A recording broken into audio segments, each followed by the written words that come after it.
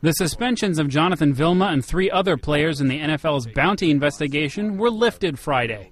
A three member panel said Commissioner Roger Goodell did not have jurisdiction to hear the players' appeals of their punishments. The four players were suspended for their roles in the New Orleans Saints bounty program that paid cash bonuses for hits that injured opponents.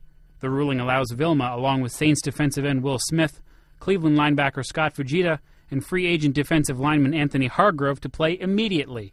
It does not permanently void their suspensions. The panel's decision states that Goodell cannot suspend the players for receiving money from a pool that paid for big plays. But the commissioner can still suspend the players if he can prove they intended to injure opponents. A spokesman for the NFL said that Goodell would make an expedited determination of the discipline imposed for violating the league's bounty rule. Noel Waghorn, The Associated Press.